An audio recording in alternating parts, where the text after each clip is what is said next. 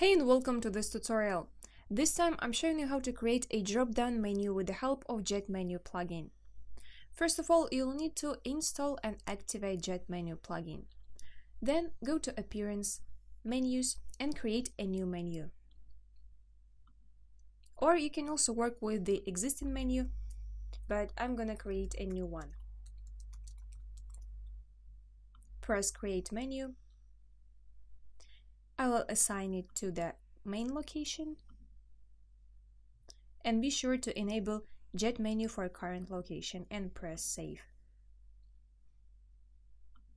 Now fill up your menu with the pages, posts or custom links that you want to be displayed in your menu and press save.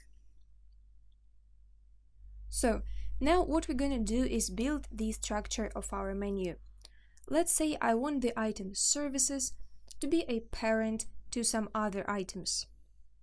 So if I want certain items to become the children of some other item, all I need to do is to grab the item and drag it a little bit to the right of the parent item and it becomes a sub item.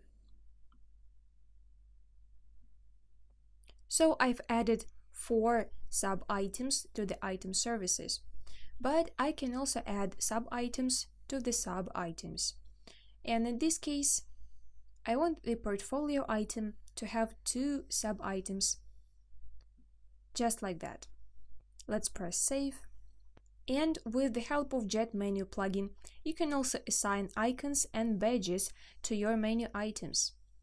When you hover over the menu item, you're gonna see this button, click on it, and it takes you to this window where you have several tabs. You need to go to icon tab, choose the icon that you want to assign to your menu item, choose the color,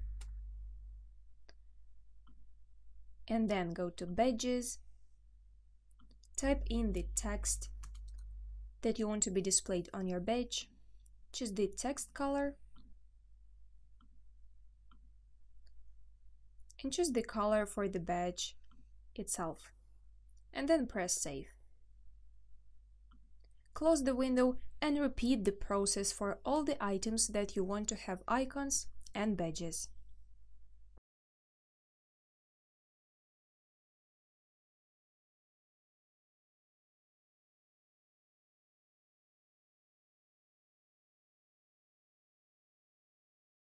So here we go and I am ready to go and have a look at this menu on my homepage.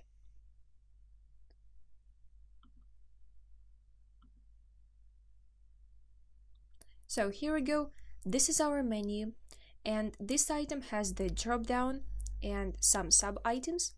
You see the badge that we have assigned and you see that other items also have badges or they might not have badges. And so this is how easy and fast the process really is. You can access some more styling options if you go to Jet Menu settings.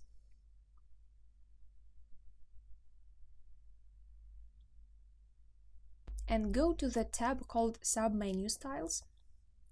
And here you're gonna find a whole lot of style settings and some other settings that let you tweak and customize your menu just the way you like. As you see, you can also change the behavior of your menu so it reacts to the actions of the user differently. But if you are using Elementor Pro or a Jet Theme Core plugin, you'll be able to add the menu to your heading with the help of Elementor Page Builder. To do that, all you need to do is to go to Elements, scroll down and find the Mega Menu widget. Drag it onto a new section and select the menu that you want to be displayed. Now press Update and reload the page. And you're gonna see that the styling is now applied to your menu.